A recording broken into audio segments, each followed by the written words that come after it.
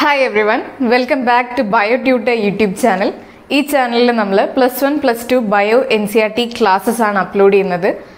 So കൂടുതൽ classes കാണാൻ subscribe to my channel share with your friends and keep supporting ഇന്ന് നമ്മൾ animal kingdom എന്നുള്ള പ്ലസ് വൺ സുവോളജിയിലെ സെക്കൻഡ് ചാപ്റ്റർ ആണ് എടുക്കാൻ പോകുന്നത്. സോ ആനിമൽ കിങ്ഡം എന്നുള്ള ചാപ്റ്ററിൽ നമ്മൾ ബേസിസ് ഓഫ് ക്ലാസിഫിക്കേഷനും പിന്നെ ലെവൻ ഡിഫറെന്റ് ഫൈലംസും ആണ് പഠിക്കാൻ പോകുന്നത്. സോ ഈ ആനിമൽ കിങ്ഡം ആനിമൽ കിങ്ഡം എന്ന് പറഞ്ഞ ബ്രോഡ് ക്ലാസിഫിക്കേഷനെ അടുത്ത ടാക്സോണമിക് കാറ്റഗറിയായ ഫൈലത്തിലേക്ക് അസൈൻ ചെയ്യുമ്പോൾ നമ്മൾ കൺസിഡർ ചെയ്യുന്ന ക്ലാസിഫൈ ചെയ്യാൻ കൺസിഡർ ചെയ്യുന്ന കുറച്ച് ക്യാരക്ടേഴ്സാണ് ബേസിസ് ഓഫ് ക്ലാസിഫിക്കേഷനിൽ നമ്മൾ പഠിക്കാൻ പോകുന്നത്. അപ്പോൾ നമുക്ക് ഫസ്റ്റ് ടോപ്പിക്കായ ബേസിസ് ഓഫ് ക്ലാസിഫിക്കേഷനിൽ ആറ് ഡിഫറെന്റ് ക്യാരക്ടേഴ്സ് പഠിക്കാനുണ്ട്. അതിന്റെ ജസ്റ്റ് നെയിം മാത്രം നമുക്കിപ്പോൾ നോക്കാം. അത് കഴിഞ്ഞ് ഡീറ്റെയിൽ ആയിട്ട് നമുക്ക് ഓരോ ക്യാരക്ടറും എന്താണെന്ന് നോക്കാം. സോ ആറ് ക്യാരക്ടേഴ്സിലെ ഫസ്റ്റ് വൺ ആണ് ലെവൽ ഓഫ് ഓർഗനൈസേഷൻ. അടുത്തത് സിമെട്രി. മൂന്നാമത്തത് ഡിപ്ലോബ്ലാസ്റ്റിക് ഓർ ട്രിപ്ലോബ്ലാസ്റ്റിക് ഓർഗനൈസേഷൻ. നാലാമത്തത് സീലോം. അഞ്ചാമത്തത് segmentation ആറാമത്തത് notochord. So first basis of classification level of organisation എന്താണെന്ന് നോക്കാം. ലെവൽ ഓഫ് ഓർഗനൈസേഷൻ എന്ന് പറയുമ്പോൾ സെല്ലുലാർ ലെവൽ ഓഫ് ഓർഗനൈസേഷൻ ഉണ്ട് ടിഷ്യൂ ലെവൽ ഓഫ് ഓർഗനൈസേഷൻ ഉണ്ട് ഓർഗൻ ലെവൽ ഓഫ് ഓർഗനൈസേഷൻ ഉണ്ട് ഓർഗൻ സിസ്റ്റം ലെവൽ ഓഫ് ഓർഗനൈസേഷനും ഉണ്ട്. ഇങ്ങനെ പറയുമ്പോൾ നമ്മൾ മനസ്സിലാക്കേണ്ടത് ബേസിക് നമ്മളുടെ എല്ലാ ഓർഗാൻസത്തിന്റെയും ബേസിക് യൂണിറ്റ് എന്ന് പറയുന്നത് സെല്ലാണ് ഈ സെൽ അഗ്രിഗേറ്റ് ചെയ്തിട്ടാണ് ടിഷ്യൂ ഉണ്ടാവുന്നത്. ടിഷ്യൂ കൂടിയിട്ടാണ് ഒരു ഓർഗൻ ഉണ്ടാവുന്നത്. ഓർഗൻ ഒരു ഓർഗൻ സ്പെസിഫിക് ഫങ്ഷൻ ചെയ്യുമ്പോഴാണ് ഓർഗൻ സിസ്റ്റങ്ങൾ ഉണ്ടാവുന്നത്. അപ്പോൾ ഇതാണ് നമ്മളുടെ ബോഡിയിലുള്ള ഒരു ഹൈറാർക്കി. സെല്ല് ബേസിക് യൂണിറ്റ് സെല്ലുകൾ യുണൈറ്റ് ചെയ്ത് ടിഷ്യൂ ആയി ടിഷ്യൂ ഓർഗനായി ഓർഗൻ സിസ്റ്റം ലെവൽ വരെയാണ് ഏറ്റവും ഹയർ ലെവൽ ഓഫ് ഓർഗനൈസേഷൻ. അപ്പോൾ ഇത് ആനിമൽസിൽ നോക്കുമ്പോൾ സെൽസ് മാത്രമുള്ള loosely aggre loose aggregates of cells മാത്രമുള്ള ഓർഗന ഓർഗാനിസത്തിനെ നമ്മൾ സെല്ലുലാർ ലെവൽ ഓഫ് ഓർഗനൈസേഷൻ എന്ന് പറയും. അവരുടെ എല്ലാ ഫങ്ഷൻസും സെല്ലുലാർ ലെവലിലായിരിക്കും നടക്കുന്നത്. ഓരോരോ സെല്ലുകളും ഓരോ ഫങ്ഷൻ പെർഫോം ചെയ്യും. സോ അതിന് എക്സാമ്പിളാണ് സ്പോഞ്ചസ് സ്പോഞ്ചസ് ഫൈലം പോളിഫറയിലാണ് വരിക. നമ്മൾ ഫൈലത്തിൽ പഠിക്കും. Next level of organisation tissue level of organisation അതായത് സെല്ലുലാർ സെല്ലുലാർ ലെവൽ കഴിഞ്ഞ് കുറച്ചും കൂടി ഹയർ ഓർഗാനിസം വരുമ്പോൾ കുറച്ച് സെൽസ് ഗ്രൂപ്പായി ഒരു ടിഷ്യൂ ആവും. സിമിലർ ഫങ്ഷനുള്ള സെൽസ് ഗ്രൂപ്പായി ഒരു ടിഷ്യൂ ആവും. അങ്ങനെ ടിഷ്യൂസ് ആ ഓർഗാനിസത്തിന് വേണ്ട ഫങ്ഷൻസ് ഒക്കെ ചെയ്യുന്നുണ്ടെങ്കിൽ ആ ഓർഗാനിസത്തിന് ടിഷ്യൂ ലെവൽ ഓഫ് ഓർഗനൈസേഷൻ ആണ് ഉണ്ടാവുക. സോ അതിന് എക്സാമ്പിൾ സീലൻഡ്രേറ്റ്സ് ആണ്. സീലൻഡ്രേറ്റ ഒരു അടുത്ത ഒരു ഫൈലമാണ് പോറിഫറ കഴിഞ്ഞ് നമ്മൾ പഠിക്കുന്ന ഫൈലം സീലൻഡ്രേറ്റ ആണ്. നമുക്ക് അവിടെ നോക്കാം. അത് കഴിഞ്ഞിട്ടാണ് ഓർഗൻ ലെവൽ ഇപ്പോൾ സിമിലർ ഫങ്ഷൻ ചെയ്യുന്ന സെൽ അഗ്രിഗേറ്റ് ചെയ്ത ടിഷ്യൂ ആയി. സിമിലർ ഫങ്ഷൻ ചെയ്യുന്ന ടിഷ്യൂസ് എല്ലാം അഗ്രിഗേറ്റ് ചെയ്ത് ഓർഗൻ ആവും. അങ്ങനെ ഓർഗൻ ലെവൽ ഓഫ് ഓർഗനൈസേഷൻ അവർക്ക് ആവശ്യമുള്ള ഫങ്ഷൻസ് ഒക്കെ ഏതെങ്കിലും ഓർഗനാണ് ചെയ്യുന്നെങ്കിൽ ആ ടൈപ്പ് ഓഫ് ഓർഗാൻസത്തിന് നമ്മൾ ഓർഗൻ ലെവൽ ഓഫ് ഓർഗനൈസേഷൻ എന്ന് പറയും. അതിന് എക്സാമ്പിളാണ് പ്ലാറ്റ് ഹെൽമെന്തസ് പ്ലാറ്റ് ഹെൽമെന്തസും ഒരു ഫൈലമാണ് നമുക്ക് പഠിക്കാനുണ്ട്. അവിടെ നോക്കാം. അടുത്തതാണ് organ system level of organisation ഏറ്റവും ഹയർ ഓർഗനൈസേഷൻ ഇപ്പോൾ ഉള്ളതിൽ വെച്ച് ഏറ്റവും higher organisation organ system level of organisation ആണ്. നമ്മുടെ ഉള്ളിൽ ഉള്ളിലൊക്കെ ഡൈജസ്റ്റീവ് സിസ്റ്റം റെസ്പിറേറ്ററി സിസ്റ്റം ഇങ്ങനെ ഓരോരോ സിസ്റ്റംസ് ഉണ്ട്. അപ്പോൾ അങ്ങനത്തെ ഓർഗാൻസത്തിന് നമ്മൾ organ system level of organisation എന്ന് പറയും. എക്സാമ്പിൾ ഹ്യൂമൻ ആണ്. ഹ്യൂമൻ മാത്രമല്ല കുറേ ഹയർ ഫൈലംസും എക്സാമ്പിളാണ് അത് നമുക്ക് നോക്കാം. So organ system level of ഓർഗനൈസേഷനിലെ ഡൈജസ്റ്റീവ് സിസ്റ്റത്തിനും സർക്കുലേറ്ററി സിസ്റ്റത്തിനും വീണ്ടും രണ്ട് ക്ലാസിഫിക്കേഷൻസ് ഉണ്ട്. അതാണ് നമ്മളിവിടെ നോക്കാൻ പോകുന്നത്. ഡൈജസ്റ്റീവ് സിസ്റ്റത്തിന് incomplete digestive system and complete digestive system ഇങ്ങനെ രണ്ടായി ക്ലാസിഫൈ ചെയ്തിട്ടുണ്ട്. ഇൻകംപ്ലീറ്റ് ഡൈജസ്റ്റീവ് സിസ്റ്റം എന്ന് പറഞ്ഞു കഴിഞ്ഞാൽ ഹോൾ ഡൈജസ്റ്റീവ് സിസ്റ്റത്തിന് ഒറ്റ ഓപ്പണിങ്ങേ ഉണ്ടാവുള്ളൂ. അതായത് ഏത് മൗത്ത് ഓർ ഏനസ് അപ്പോൾ mouth or anus only present അങ്ങനത്തെ ഡൈജസ്റ്റീവ് സിസ്റ്റത്തിനെയാണ് നമ്മൾ ഇൻകംപ്ലീറ്റ് ഡൈജസ്റ്റീവ് സിസ്റ്റം എന്ന് പറയാം. ഒറ്റ ഓപ്പണിങ്ങുള്ള ഡൈജസ്റ്റീവ് സിസ്റ്റം ഇൻകംപ്ലീറ്റ് ആണ്. ഇനി ഡൈജസ്റ്റീവ് സിസ്റ്റം കംപ്ലീറ്റ് ആണെങ്കിൽ കംപ്ലീറ്റ് ഡൈജസ്റ്റീവ് സിസ്റ്റത്തിൽ both mouth and anus present ആയിരിക്കും. രണ്ട് ഓപ്പണിംഗ് ഉണ്ടായിരിക്കും. അതായത് ഇൻടേക്ക് ചെയ്യാനും പുറത്ത് കളയാനും രണ്ട് ഓപ്പണിംഗ് ഉള്ള ഡൈജസ്റ്റീവ് സിസ്റ്റമാണ് കംപ്ലീറ്റ് ഡൈജസ്റ്റീവ് സിസ്റ്റം സർക്കുലേറ്ററി സിസ്റ്റത്തിന് ഓപ്പൺ സർക്കുലേറ്ററി സിസ്റ്റം ഉണ്ട് ക്ലോസ്ഡ് സർക്കുലേറ്ററി സിസ്റ്റം ഉണ്ട്. ഓപ്പൺ സർക്കുലേറ്ററി സിസ്റ്റം എന്ന് പറഞ്ഞാൽ blood is pumped out without vessels പ്രത്യേകിച്ച് ബ്ലഡ് വെസൽസ് ഒന്നും ഇല്ലാതെ ബോഡിയുടെ ഉള്ളിലേക്ക് ഡയറക്റ്റ് ആയി ബ്ലഡ് പമ്പ് ചെയ്ത് എല്ലാ ടിഷ്യൂസും ഓർഗൻസും അതിൽ മുങ്ങിക്കിടക്കുന്ന ടൈപ്പ് ഓഫ് ബോഡി പ്ലാൻ അതാണ് open system of open system of circulatory system ഇനി ക്ലോസ്ഡ് സർക്കുലേറ്ററി സിസ്റ്റം ആണെങ്കിൽ blood vessels carry blood proper ആയിട്ടുള്ള വെസൽസിലൂടെ മാത്രമേ ബ്ലഡ് പോളൂ അവിടെ ഫുള്ള് ഓർഗൻസ് ഒന്നും ബ്ലഡിൽ ബേതായി കിടക്കില്ല. പ്രോപ്പർ വെസൽസിലൂടെ മാത്രം ബ്ലഡ് പമ്പ് ചെയ്യുന്ന ടൈപ്പ് ഓഫ് സർക്കുലേറ്ററി സിസ്റ്റം ആണ് closed circulatory system example human ആണ്. ഇനി ഓപ്പൺ സർക്കുലേറ്ററി സിസ്റ്റത്തിന് ഒരു എക്സാമ്പിൾ കോക്രോച്ച് ആണ്. കോക്രോച്ചിനെ നമുക്ക് കാണാം. വെറുതെ ഇങ്ങനെ വൈറ്റ് കളർ ഫ്ലൂയിഡ് പുറത്തു പോകുന്നത്. അതാണ് കോക്രോച്ചിന്റെ blood second basis of classification ആണ് സിമെട്രി സിമെട്രി എന്ന് പറയുമ്പോൾ തന്നെ സിമെട്രി എന്ന് ഉദ്ദേശിക്കുന്നത് ഒരേപോലെ ഐഡന്റിക്കൽ ആയിട്ടുള്ള കാര്യങ്ങൾ. എല്ലാ ഡൈമെൻഷനിലും ഐഡന്റിക്കൽ ആണെങ്കിൽ അതിനെ നമ്മൾ സിമെട്രി എന്ന് പറയും. അപ്പോൾ നമ്മൾ സിമെട്രിയിൽ ഫസ്റ്റ് പഠിക്കാൻ പോകുന്ന കേസ് അസിമെട്രിക്കൽ കേസാണ് അസിമെട്രി എന്ന് പറയുമ്പോൾ തന്നെ അറിയാം ഒരു സിമെട്രി ഉണ്ടാവില്ല ഒരു ആംഗിളിലും അത് ഐഡന്റിക്കൽ ആയിരിക്കില്ല. സോ അസിമെട്രി പറയുമ്പോൾ ഇതൊരു ഓർഗാനിസം ആണ് അത് ഓർക്കണം. Any plane passing through the centre cannot divide them in two equal halves ഇപ്പോൾ ഒരു ഓർഗാനിസത്തിന് എടുത്താൽ ആ ഓർഗാനിസത്തിനെ എങ്ങനെ മുറിച്ചാലും എങ്ങനെ നമ്മൾ ഏത് ആക്സസ് നമ്മൾ കൺസിഡർ ചെയ്താലും നമുക്ക് രണ്ട് ഈക്വൽ ഹാഫ്സ് ആ ഓർഗാനിസത്തിന് കിട്ടില്ല.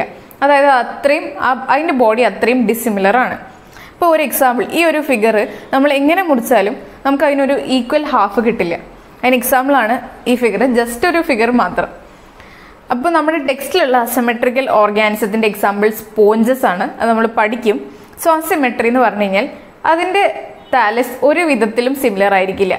എല്ലാ കോണിലും അത് ഡിഫറെന്റ് ആയിരിക്കും. ഒരിക്കലും നമുക്ക് അതിനെ രണ്ട് ഈക്വൽ ഹാഫായി ഡിവൈഡ് ചെയ്യാൻ പറ്റില്ല.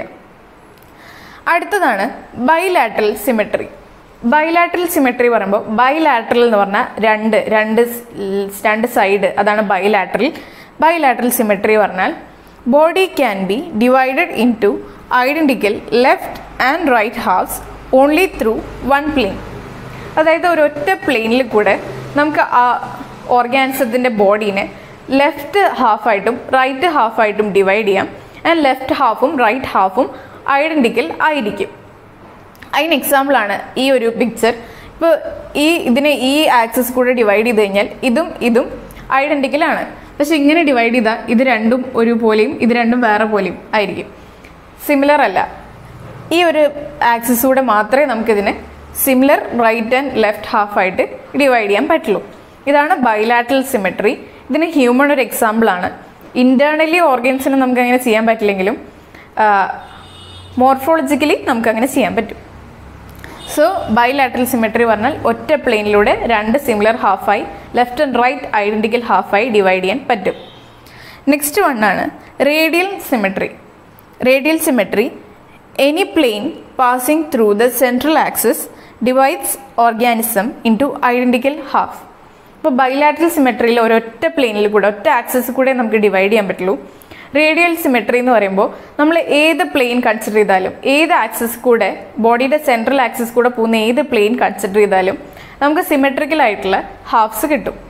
ഇപ്പോൾ അതിന് എക്സാമ്പിളാണ് ഇപ്പോൾ ഒരു കേക്കൊക്കെ ഡിവൈഡ് ചെയ്താൽ എങ്ങനെ ഡിവൈഡ് ചെയ്താലും നമുക്ക് രണ്ട് സൈഡും സിമെട്രി ആയിട്ടാണ് കിട്ടുക. അതിന് എക്സാമ്പിളായിട്ടുള്ള ഓർഗാനിസംസ് ആണ് എക്കിനോഡേംസ് സീലൻഡ്രേറ്റ്സ് ഒക്കെ. അത് നമ്മൾ ലേറ്റർ പഠിക്കും. സോ റേഡിയൽ സിമെട്രി പറഞ്ഞാൽ ഏതൊരു പ്ലെയിനിൽ കൂടെയും നമുക്ക് സിമിലർ ഹാഫ്സ് ആയി ഡിവൈഡ് ചെയ്യാൻ പറ്റും. ഇനി നമുക്ക് third basis of or classification നോക്കാം. തേർഡ് ബേസിസ് ഓഫ് ക്ലാസിഫിക്കേഷൻ എന്ന് പറയുന്നത് ഡിപ്ലോബ്ലാസ്റ്റിക് ഓർ ട്രിപ്ലോബ്ലാസ്റ്റിക് ഓർഗനൈസേഷൻ ഇപ്പോൾ ഡിപ്ലോബ്ലാസ്റ്റിക് ഓർ ട്രിപ്ലോബ്ലാസ്റ്റിക് ഓർഗനൈസേഷൻ എന്താണെന്ന് നോക്കാം. First one diploblastic organisation animals in which cells are arranged in two embryonic layers outer ectoderm and inner endoderm. അപ്പോൾ embryonic layer zygote embryo ആവും. Embryo ആണ് further development നടന്ന് ഓർഗാനിസമായി മാറുക. അപ്പോൾ ഈ എംബ്രിയോണിക് ഡെവലപ്മെന്റിന്റെ സമയത്ത് സെൽസ് രണ്ട് ലെയർ രണ്ട് ഡിഫറെന്റ് ലെയേഴ്സ് ഫോം ചെയ്യുന്ന ഓർഗാനിസത്തിനെ ഡിപ്ലോബ്ലാസ്റ്റിക് ഓർഗാനിസം എന്നാണ് പറയുക രണ്ട് ഡിഫറെന്റ് ലെയർ എന്ന് പറയുമ്പോൾ ഒരു ലെയർ പുറത്തും ഒരു ലെയർ അകത്തുമായിട്ടായിരിക്കും സോ പുറത്തുള്ള ലെയറിനെ നമ്മൾ എക്ടോഡേം എന്നും ഉള്ളിലുള്ള ലെയറിനെ നമ്മൾ എൻഡോഡേം എന്നും വിളിക്കും. അങ്ങനെ രണ്ട് ലെയറുള്ള ടൈപ്പ് ഓഫ് എംബ്രിയോണിക് ഡെവലപ്മെന്റ് ആണ് ഡിപ്ലോബ്ലാസ്റ്റിക് ഓർഗനൈസേഷൻ ഈ രണ്ട് ലെയർ എക്ടോഡേമിന്റെയും എൻഡോഡേമിന്റെയും ഇടയിൽ and undifferentiated layer മീസോഗ്ലീസി mesoglea is present between them mesoglea എന്ന് പറഞ്ഞാൽ അൺഡിഫറൻഷിയേറ്റഡ് എന്ന് പറഞ്ഞാൽ പ്രത്യേകിച്ച് സെൽസ് ഒന്നും ഡിഫറൻഷിയേറ്റഡ് ആവാതെ ഒരു ലെയർ എൻഡോഡേമിന്റെയും എക്ടോഡേമിന്റെയും ഇടയിൽ പ്രസന്റ് ആണ്. ഇതാണ് ഡിപ്ലോബ്ലാസ്റ്റിക് ഓർഗനൈസേഷൻ ട്രിപ്ലോബ്ലാസ്റ്റിക് ഓർഗനൈസേഷൻ എന്താന്ന് വെച്ചാൽ എംബ്രിയോണിക് ഡെവലപ്മെന്റിന്റെ സമയത്ത് മൂന്ന് ലെയർ ഫോം ആവും. Animals in which cells are arranged in three different embryonic layers that is ectoderm endoderm and mesoderm ഇപ്പം നേരത്തെ നമ്മൾ പറഞ്ഞില്ലേ ഇവിടെ ഒരു അൺഡിഫറൻഷ്യേറ്റഡ് ലെയറായ മീസോ ഗ്ലിയ ഉണ്ട്.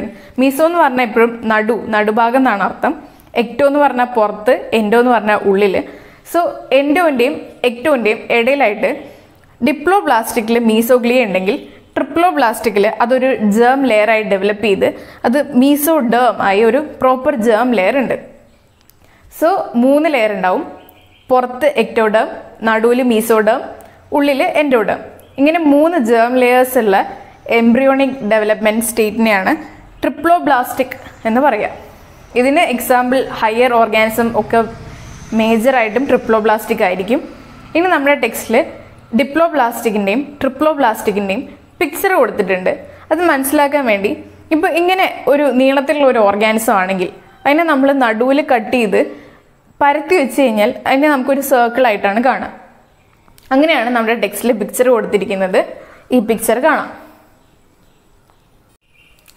സോ നമ്മൾ ഇന്നത്തെ ക്ലാസ് ഇവിടെ വൈൻഡ് അപ്പ് ചെയ്യാണ്. ഇന്നത്തെ ക്ലാസ്സിൽ നമ്മൾ ആനിമൽ കിങ്ഡം എന്നുള്ള ചാപ്റ്ററിലെ ബേസിസ് ഓഫ് ക്ലാസിഫിക്കേഷൻ ആണ് നോക്കിയത്. ബേസിസ് ഓഫ് ക്ലാസിഫിക്കേഷനിൽ മൊത്തം ആറ് ക്യാരക്ടേഴ്സ് ഉണ്ടായിരുന്നു. അതിൽ മൂന്ന് ക്യാരക്ടറാണ് ക്യാരക്ടേഴ്സാണ് നമ്മൾ ഇന്ന് ഡിസ്കസ് ചെയ്തത്. First one level of organisation ആയിരുന്നു. Cell cellular level tissue level organ level and organ system level of organisation നമ്മൾ കണ്ടു. പിന്നെ ഡൈജസ്റ്റീവ് സിസ്റ്റവും സർക്കുലേറ്ററി സിസ്റ്റത്തിന്റെ രണ്ട് ക്ലാസിഫിക്കേഷൻ കണ്ടു.